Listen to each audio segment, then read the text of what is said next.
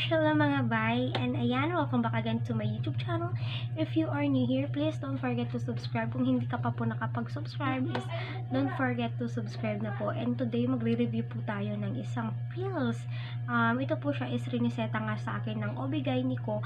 Kasi nga hindi po regular yung menstruation ko. One day lang ako nag-mens nung last um, September, one day lang to, yun siya at nag-i-spotting so, nag-i-spotting po ako. So hindi po normal yung menstruation ko. And today, ayan, October 5 ako nagpa-check up. So kakabili ko lang ng pills. This is uh, Althea yung recommend sa akin ng doktor. So kailangan ko daw siyang i-take ng 3 months. Pero usually is 6 months talaga siyang iti-take.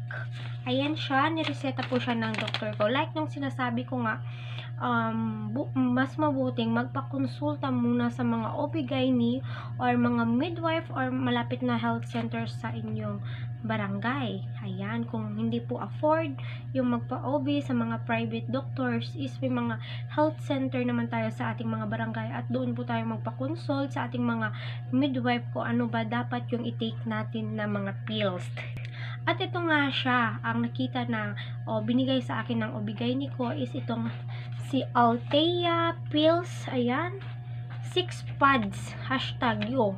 6 pads yung binigay sa akin ng obi ko na ititake ko. So, start na akong magtitake nito mamayang gabi. 8.30. 8.30 ko siyang ititake. Ito siya si Altea. Madami lang nagre-review nito. Super ganda ng Altea. Um, lalo na kapag may um, polycystic ovarian syndrome ka. Kasi ako, usually, usually, hindi. Ako is may polycystic ovarian syndrome po ako sa isang um, ovary ko. So, kailangan ko daw mag-reduce or um, magpababa ng timbang kasi nga um, tumaba daw ako kasi yun daw din yung nagkokos kaya mayroong polycystic ang isang babae. So, mahihirapan daw, kung gusto nang masundan yung anak ko is, mahihirapan daw kasi nga mayroon akong um, polycystic. So, ito yung um, binigay sa akin ng Obicare ini ko na si Ceproteron acetate ano ba, ethinyl estradiol. Para din siyang lady pills. Kasi, ah, hindi siya lady pills. Kasi yung lady pills is may ethinyl estradiol siya. Is Altea 2 mg and 35 mg tablet oral contraceptive anti-androgen. Trust Quality Trust. So, branded siya ng Trust. So, Trust, ayan, RX siya. Ayan ha. Yan, reseta to siya ng aking doktor na si Lorena M. Amasol, MD. Ayan. So, kailangan po talaga tayo magpa-check up.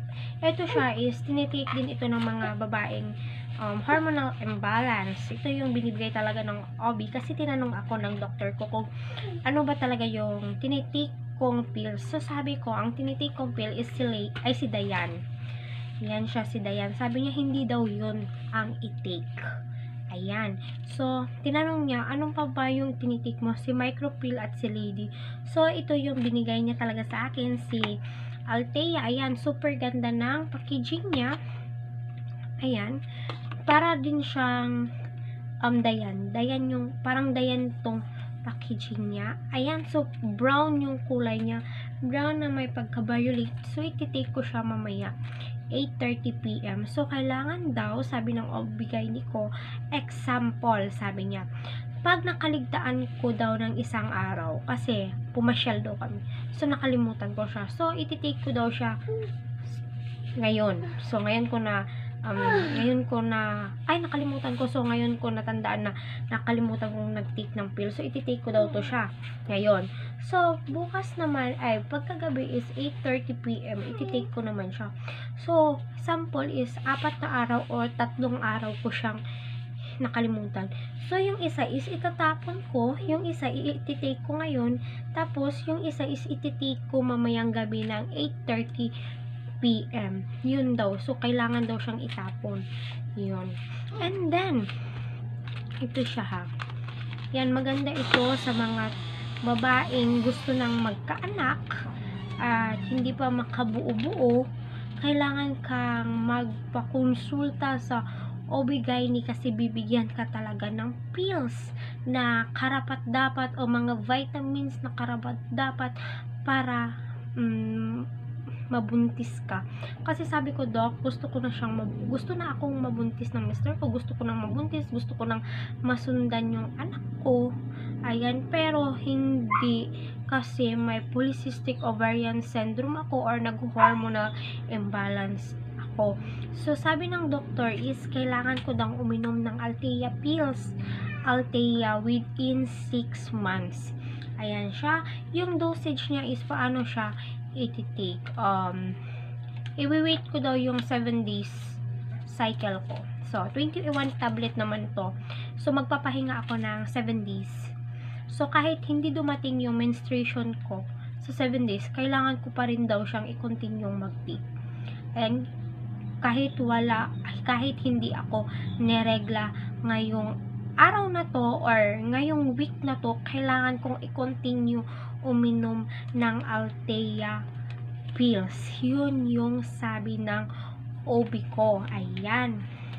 Ito lang siya. Um, um, susubukan ko kung hiyang ba ako ng Althea kasi nga um, usually yung tinitake kong pills either um, Dayan or micropill yun lang talaga yung tinitake ko. So um, susubukan ko tong Althea kung hiyang ba ako. Sabi-sabi nila is super ganda daw to na pills lalo na kung marami kang tigyawat. Ito yung mga iniinom ng mga dalaga. So hindi naman tayo pwedeng uminom ng basta-basta ng pills kapag walang reseta ng doktor, 'di ba? Kasi nako hindi natin alam kung mag maganda ba yung dulot niya sa atin kasi may mga tita, may tita ako na uminom ng pills. Tapos hindi pa siya, wala pa siyang ano. So hanggang ngayon 40 plus na siya, wala na wala pa siyang anak. Kaya babalik ko na siya, guys. Kaya hanggang dito na lang po. Kaya maraming salamat kung kayo yung makikinig.